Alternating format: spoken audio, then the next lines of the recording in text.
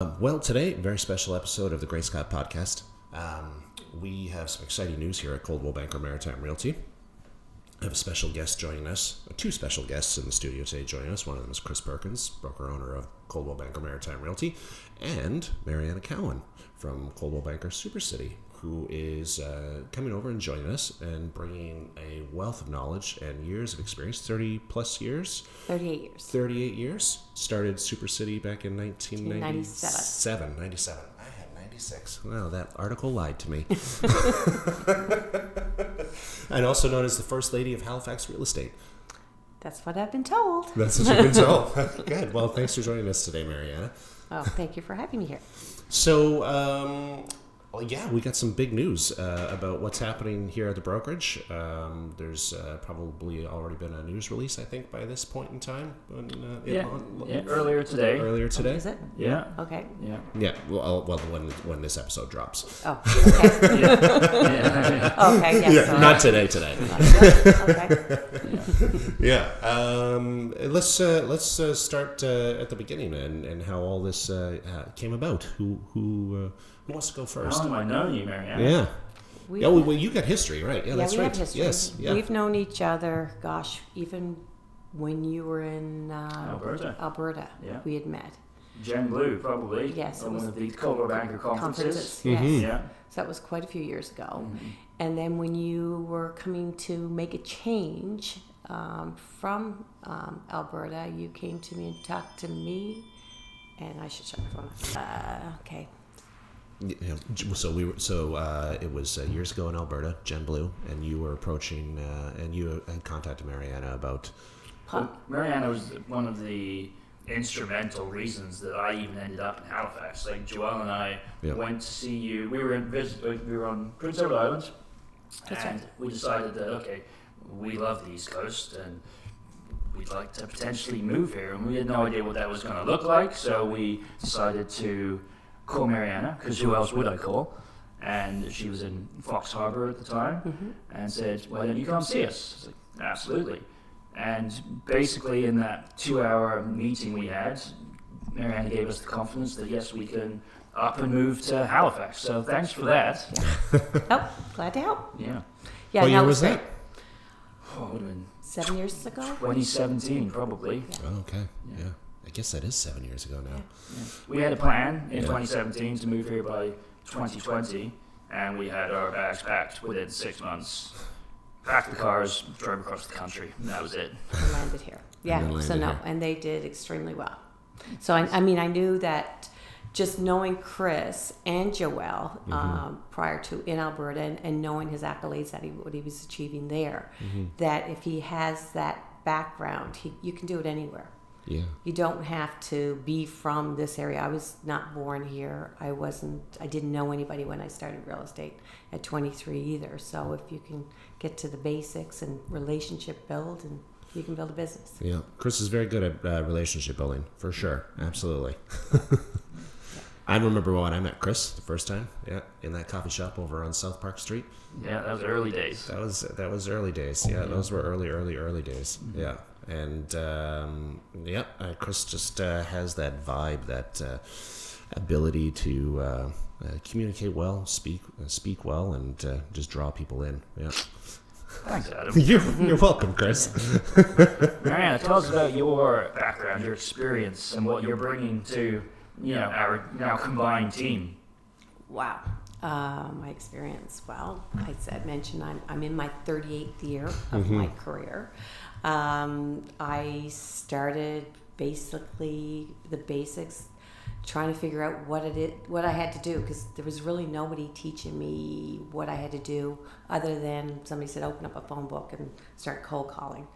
That wasn't really my cup of tea, so I just started looking outside of actually Nova Scotia where what are other people doing in the states or in Canada? And I started mentoring a few people and uh, followed at one point Craig Proctor Systems and put systems in place and then put a team in place and had a very huge team and So you looked outside of the province? I looked at for the province for for guidance for guidance. in order to get where I needed to go. Yeah, I had goals, aspirations, and I needed to prove to myself that I could do what I needed to do. Mm-hmm. And also prove at a young age it was a very male dominant business at that mm-hmm. time and i had to exceed so that's what i did is went out and put systems technology people in place and i was able to soar from there Yeah, great. Um, so, what, um, what, well, what do those systems look like exactly? So I, I never forget that I sat down. Like, how am I going to do this? And boy, I need a pile of money.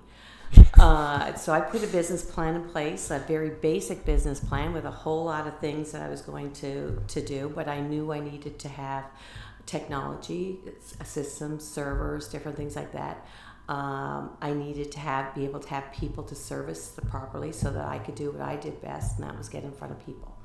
So I needed to have basically a line of credit set up, sold it all up, went to the bank, and I said, Look, I don't have a whole lot of money, but this is what I'm going to do. This is my action plan. And I had it all spelled out exactly what I was going to do. And luckily enough, I met a lady who actually believed in me and managed to give me what I needed to do. And then the rest was history. That's great. And her and I are great friends. And at the same time, she's done extremely well with RBC. And I Yeah. give all the kudos to her. And every time we see each other, do you want to name drop? I can name drop. Her name was T- Tracy Sarlos. Tracy Sarlos. Yeah, with Is she- RBC. She still in the industry? Oh yeah, Yeah. and then she's been all over the place, and she's done extreme. She's she's like I say, she was everything to me, and Yeah, yeah, that's to, great. to get where she yeah, Yeah. to get where I am today, and it and it a lot of it like I tell people is you have to believe in yourself that you can do it, not you know uh, well how am I going to do it? Everything is I always say is everything is figure outable. Um, if you have a desire and, want to do something, there's always a way of, of doing it. You just have to search it out or get the right people to, to do it with. right. So I surrounded myself with a lot of people outside of Nova Scotia that I have a great connection all across, well, really North America, that we would mentor each other, coach each other, and, and be accountable with each other. This is how many um, transactions we're going to do this month or whatever. And then we would, you know, talk to each other all the time. And that's sort of what I like, that I believe that I'm going to bring to the table for Maritime Realty and what I've been doing with my agents previous is helping with that accountability, but helping them believe in themselves so that mm-hmm. they can reach their true Yeah. potential. Because a lot of people don't believe what they have inside them, that mm-hmm. they can actually do it. I just, I'm just a simple person and had some really high expectations that I put on myself that I figure I had to figure out, okay, how am I going to do this? Yeah. and be able to do what I want to do, still support myself, my family, and now it's to have a better life um, and be able to give back to the community and be able to do what I want to do. Yeah. And it does take money to do a lot of these things, Yeah. and so why not make it and earn it and give it back? Sure. Yeah. Absolutely. And so, uh, sorry. Before we, this is fantastic. Is the sound okay Yeah. from her distance from the mic? Yep, it's picking up perfect. Okay, Is great. it okay? Okay, great, perfect. Great. Don't mean to, yeah. Yeah. We don't want to go. Ruin the vibe. we don't want to go back and do all that over again. no, it's, it's perfect. Okay, great, perfect.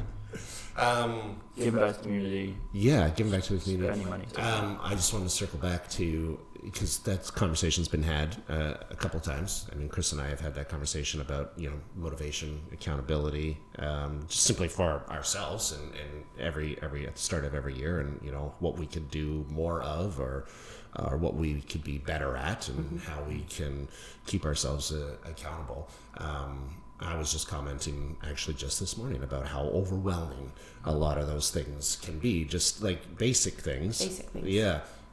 How did you overcome some of these things? Starting out fresh, 23 years old, Well, didn't know anybody from out of province. It was putting um, actions in place. Basically, is okay. What was my goal for the year? And I always went by transactions, not dollars. I wanted to achieve so many transactions, and the dollars would come with that. Right. So I, you know, I looked at looked at myself. Okay, I wanted. I basically, I think the first year I said I needed to do one a month, or, or at least twelve that first year. Okay, what activities am I going to do? What's the time frame that I'm going to put inside? So when I coach or, uh, with the agents now, I'll say to them, okay, what's the big picture? Why do you need that? Why, you know, understanding, okay, is it a trip for the family? Is it putting money or a new car or something? Because there has to be a little bit of motivation. What's going to drive you to get that particular goal you want. So, is there any um, events or anything there that's going to take you away from doing business? And I even do it now, okay? Am I traveling? What's my year look like? So I time block. Well, I know I'm not doing that. So I, if I have goals, I want to do, say, 200 transactions this year and I'm going to be away for six months total. Well, I only have X number of days to do this business. How many calls? How many people do I need to see? What? How many transactions? Blah blah blah blah. So that's how I step it out. Mm-hmm. So I'm going back to the basics. Is you? How many people am I going to get in front of? Mm-hmm. Right. That's the key thing is getting in front of people. Whether I know everybody's digital and all that, but I still believe in face-to-face contact or picking up a phone and talking to people this texting and all this stuff is great, mm-hmm. but people don't, I believe, get a sense of who you are or actually do you actually care about me. I know when I text or, or even would say, Chris, he'll ask a question, I'll, I'll do a quick answer. Mm-hmm. But I'm not trying to seem like I'm in a rush or I'm, what- but that's what I'm doing, right? Mm-hmm. I'd rather chat sometimes, but I know everybody's busy. But if I can see something's going off the rails or I sense they're not getting really how I feel, okay, I have to pick up the phone and say, okay, I'm not upset or I'm really interested in you. I'm not trying to blow you off or any of that kind of stuff. And, you know, we do care. I've had so many agents. Well, nobody's calling me back. Nobody. I said, "Have you picked up the phone?" And then they'll, and then I'll follow up. Did how'd you do? Well, I haven't heard back. I said, "You picked the phone?" No. I said, "Okay, pick up the phone, please. Just do it for me." They pick up the phone. Oh my God! I talked to them with great conversation. I've got an appointment with them. Mm-hmm. So it does work by actually communicating with people. It's a lost art. It is. It's so easy to sit behind a laptop and you know, Yeah. send Oh, yeah. text message, send an email, but so, you know, Well, I've done actually my jo- need oh, to see people I've- and yeah. speak to people. Yeah. you know. People say, oh, I, I did it. I, I checked that off. I, you know, I did my 10 emails. I did this. But you, did you actually have a conversation or communication back and forth type of thing? You mm-hmm. need to keep doing those things. But like I even say to them, I said, meet and greets. You know, there's all kinds of still social things out there that you can still do. Even if it was on Zoom, they were doing Zoom. Mm. But now I there's one lady that I'm excited for. She's getting ready to write her her um, do her license or her exam, and I already started sending stuff to her. And I said, "There's a meet and greet here," and stuff. She already went to it. She's got a bunch of great names, time great time, bunch of names already to go. So she writes next week or a week and a half from now, and Yeah. you know I'm excited to get her all rolling. Out, you know what she needs to. That's my high now is watching people implement things and them achieving their goals is what I like seeing now more than ever now. Yeah. That's good. Yeah. Yeah, I got a high on that too. I like coaching. Yeah. Yeah. Yeah. No time for me to coach right now though. but I, I, I, you know, I, I like that. Yeah, Yeah. absolutely. You and I have gone to several networking events together, and they've always been positive, right? It's- Yeah. Yeah, they have. Yeah. Well, if it's anything, it's it's showing that you're out in the community, you're out there, right, and saying, "Oh, I see you everywhere," or mm-hmm. you know, and being not necessarily that they are seeing you everywhere, but that that perception is there, right, mm-hmm. and that you're actually doing something, even if it's like, you know, I met one of your agents um, at a golf tournament this mm-hmm. summer or s- fall, I guess, Yeah. and it was great to see him. You know, it, it is nice to see people you know, even if it's not in their normal environment and, and that kind of thing. And that will help people or agents um, meet other people. Like, I try to explain to people, I said, yes, if you're volunteering, you're doing so, but you may be able to make a connection from one person to another to help sell a house.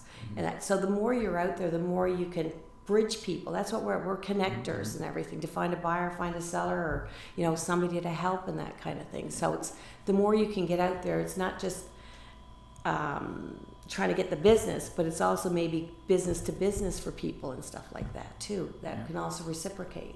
It's Yeah. important to tell everyone that you are a realtor because I know some people seem to be shy about you know talking about Yeah. you know, talk about real estate Right. because that's your expertise. They, they Right. might you know you could very much provide value in Yes. the conversation. Everyone's curious about the real estate market, I think. Yep. So talk, let's talk about it. let's provide that value. Yeah. Yeah, like people will say, well, well what you know, what is it? And I said, I am a, uh, I am a, realtor. For foremost is that I am a realtor, but I am a connector, relationship builder, and everything like that. So, Yep. you know, you can't, don't shy away from it, right? Because we, you know, we do provide a value. Some people don't think we do, but bottom line, we do provide a value. Yeah, and then I, and then I find that there's those people that want to ask about the market, but don't actually care about what you have to say. but because we're realtors, we're like, well, let me get my notebook out. Real estate is always good. Yeah. There's always a buyer and always seller. There's there's always something happening in it in the world. Yes. Nothing's stagnant, right? Yeah. So Yeah. Yeah, um, I, you know, just to, to toot my own horn. You, you were saying it just before we sat down, and like maybe we don't toot our own horns enough, and so you know, just to toot my own horn, I do a lot of outside of the box things uh, to get in front of people. I one of them is um, I host trivia nights in Chester. Yeah, and um, I at the start uh, I started it late last year, and at the beginning I was a little hesitant about you know being so forward about who I was, even though I have uh, uh, a banner that says who I am, and I introduce myself as who I am. But uh, um, you know, I was always I was a little timid about asking anybody, you know, jokingly, but not jokingly, if they had any real estate questions before we got into the uh, evening. Um, but uh, now I, I have no problems whatsoever, and I'm and I'm and I'm funny about it, and I'm light about it, and I and I. I'll walk the room and I'll approach tables and have conversations. And towards the end of the last session I did in the fall, there I had lots of people come to me and have conversations with me about, uh, you know, what they're thinking about doing in the future, taking my business card, you know, Right. you know, making really important contacts and And you're doing this, you know, for free. Out For of, free, you know, you're yeah. providing all the equipment for free. You're putting in a ton of time to create these questions. Like I've seen you do it. It's not. Yeah. It's not that easy to do. no, And you're doing it for people's enjoyment. But you know, obviously, you still want them to know that you're in real estate. right? exactly, So, yeah, that's the trade-off. But being, people, being but in front also of people. people, for, uh, like I say to the agents, don't be scared to ask for help and say, look, Mm-hmm. I just started in the business, or even now, you know, I could use your help. Do you know of anybody thinking of buying, selling real estate? Please think of me. hmm Yeah. Just you know, you're here to help, but they people like to help each other too. Yes. But don't be scared to ask for help. Yeah, absolutely. Yeah, it's You know? a roundabout way of Yeah, asking for business. Business, yes, yeah. yeah, absolutely. yeah. I could It's use your help. I could use your help. Yeah. Yeah. Chris has been using that term a lot recently. That's what I used when I got here Yeah. because Yeah. I needed Yeah. help. Right? I didn't know anybody. Yeah. Um, you know, but one of the first things I did when I got here, I'm a big Liverpool fan, so I looked for the Liverpool Supporters Club, and there wasn't one. So I was like, there, there has to be Liverpool fans in Halifax. so I created a Facebook page, and our very first meeting we had was six of us sitting around the table. Fast forward three years, we're in the Champions League final, and we had the, the place full with 240 people. So from that network, I asked, I, I let people know I was in real estate. I said, "Can you help me?" And they did. You know, not maybe I was surprised at the time, but um, Yeah. you know, it's not surprising really because, like you Yeah. said, people want to help people. Yeah. Yeah. Yeah. Yeah. Absolutely. So, um, we talked a lot about the past. Let's talk a little bit about the future and uh, what we see happening here um, over the next. I don't know. What's what what what, are Well, I'm really. how, I'm do we, how do we come? So we're, we talked we talked about the past and and, and uh, agents and whatnot. Let's talk about uh, the coming together of uh, two great uh, minds and um, companies and um, how that's going to uh, better service uh, the real estate uh, industry and uh, uh, clients as uh, as we move forward. I'm really excited when Mariana, you know, we, when we had our first appointment about this, you know, it was like, yes, absolutely, I would love to do this. Like, it's a complete no-brainer for me. Oh, I could see his face. It was, it was, it was, it was real. It felt really good, actually. yeah, uh, good, yeah, good. So- yeah, yeah. No, it did. Yeah. So with Mariana and her, you know, her agents coming on board, it just it gives us so much more. Like we have plenty of different strengths which are now going to come together for the benefit of you know our agents. But when we're benefiting our agents, what we're really doing is providing with the tools and the supports and the mentorship they need to help our clients. And that's what it's really all about. We're doing everything in the background to make sure our agents are professional and they have everything they need so our clients can achieve their real estate goals. And the brand is very important to me. I've been with Coldwell Banker for well 27 years, and that was one of the biggest decisions I was trying to decide because my my franchise agreement was actually up um, in November, Oh. and trying to decide what was best for my company or my agents as well as myself. Where did I see myself moving forward now that I've been around for quite a while and I don't want to be doing this forever either, but I want to make sure everybody's, you know, in good hands. I'm not like I'm going anywhere, but I just want to be able to step back and do what I want to do and not have the overall pressures of running an office anymore. Um, and what I, you know, knowing Chris and Joelle, what they have, I could see a really good fit for my agents, um, as well as what I think we could all bring to the table. We all have different strengths. I have a great variety of ages in my office. Um, young and older people with a lot of experience, and, and that. So I think the, the the whole joining of everybody together today um, is going to be amazing to see how they all can intertwine and uh, get together as far as that part goes. So Yeah, I have to say I'm excited. I'm very excited to meet Yeah. everybody that's Yeah. coming over from your team there. Um, I've had the pleasure of communicating with at least one agent so far, Mm-hmm. which is great. Um, and I can't wait to meet everybody, uh, uh, or I've already met everybody, right, by the time this podcast drops? yeah, that's right. That's right. That's what I did. Yeah, that's what I keep saying. Yeah. But it is. I mean, it's it was once I got through my head that I'm going to make a change. Then I'm like, okay, what is the best thing for me to do for everybody? And that was to stay with the brand. Luckily enough, Chris had opened up in June. Um, so he, I mean, he was familiar with the brand Yeah. way way back then, but things have really changed even then. Um, since he, since he's been with you know been out of the brand and back in the brand and new ownership and everything because we are now Canadian owned. Prior to that, uh, we were U.S. owned.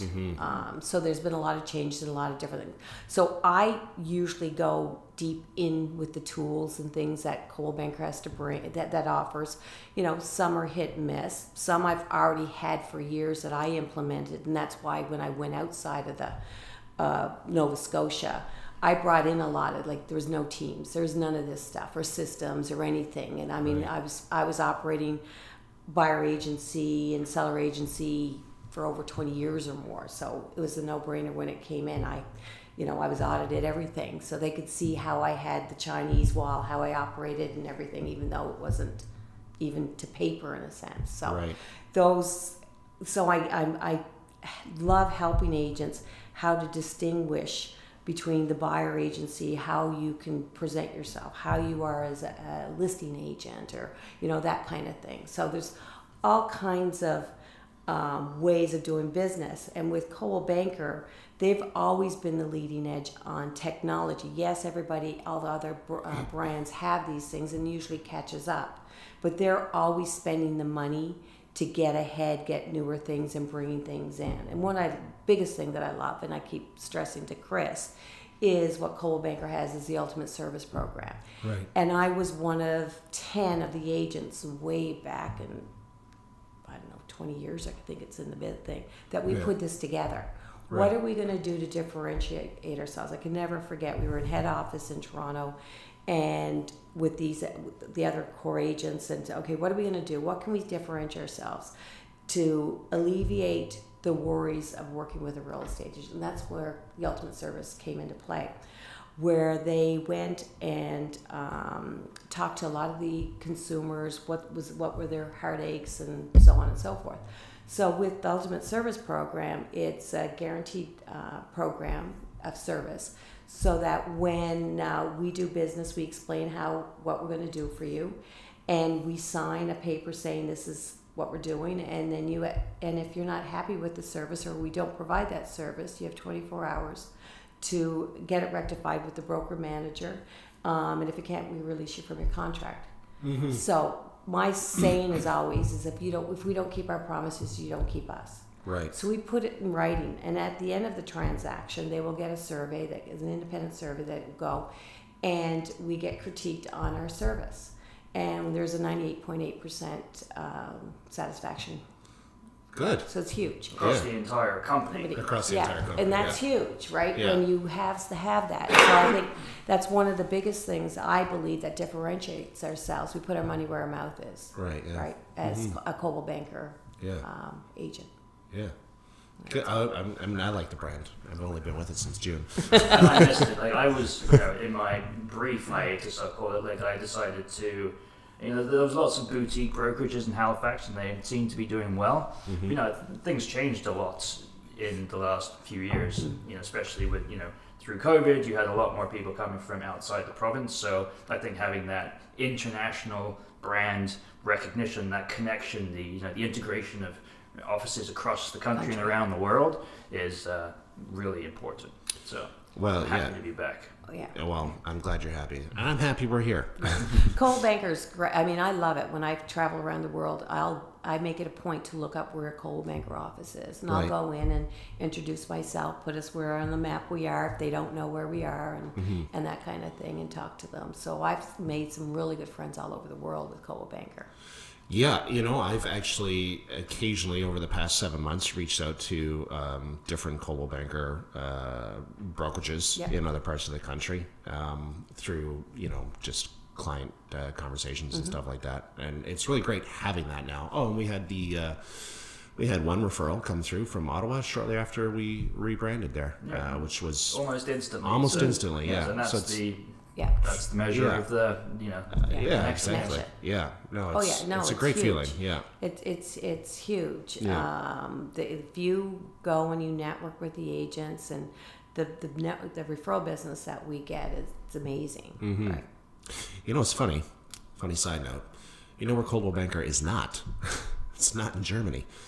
It's all over Europe, but it's not in Germany. I just I've, I've I only bring that up because I had some clients I've been working with on and off for the past uh, few years, and um, I met, with them at their um, summer house down the Eastern Shore there, and they uh, they asked me they said Adam.